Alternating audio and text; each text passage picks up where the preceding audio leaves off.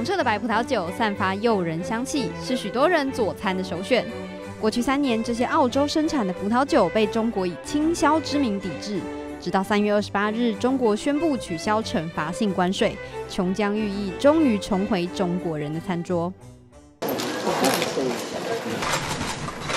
I also welcome progress on trade between our countries, including on wine exports, and look forward to the resolution of outstanding issues.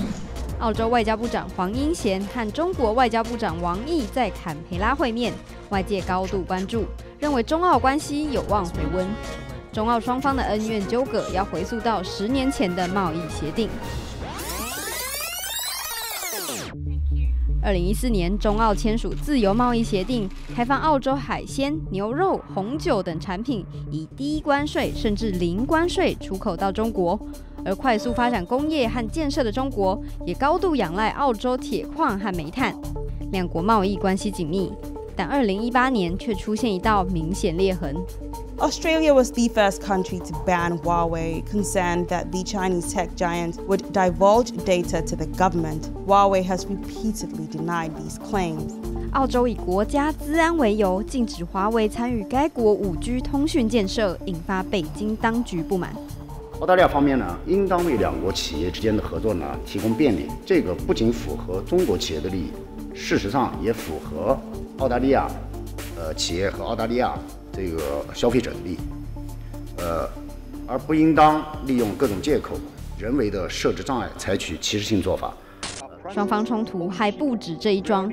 二零一九年一月，澳洲籍华裔作家杨军过境广州时，被中国以涉嫌从事间谍活动罪名扣押。今年二月遭判死刑，缓刑两年，引发澳洲社会哗然。杨军案更被解读为中澳关系能否真正改善的重要关键。We discussed the sentencing of Dr. Yang Jun. I told the foreign, the foreign minister Australians were shocked. at the sentence imposed, and I made clear to him that the Australian government will continue to advocate on Dr. Young's behalf. 二零二零年，新冠疫情肆虐，时任澳洲总理莫里森要求世卫组织应全力调查从武汉传播的病毒起源。And I strongly support President Biden's recent statement that we need to bolster and accelerate efforts to identify the origins of the COVID 19. 此话一出，中国彻底炸毛。 祭出调高关税的经济制裁，光是大麦一项产品，关税就提高到百分之八十。受欢迎的澳洲红酒也中枪，被中国点名不当倾销，关税被提高至百分之一百六十以上。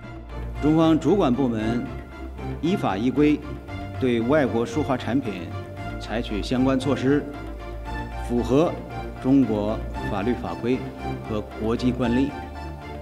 也是对中国国内产业和消费者负责的行为。如今，不只是龙虾、美酒将重回中国老饕怀抱，中澳双方台面上的战略对话也很热络。但两国关系真的全面解冻了吗？澳洲媒体有不同解读。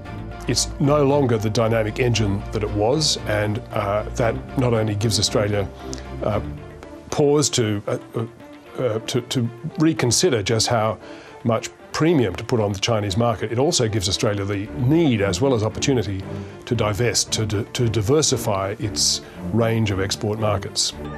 中澳在经贸议题上逐渐达成共识，但在国家安全与人权议题上，澳方依然持保留态度，重申对新疆、香港、西藏人权问题的顾虑。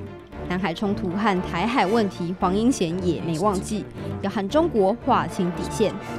as I said in the outset of my meeting, China will always be China, Australia will always be Australia. Uh, however, we want to continue to engage, uh, to cooperate where we can and disagree where we must, and to manage these differences wisely.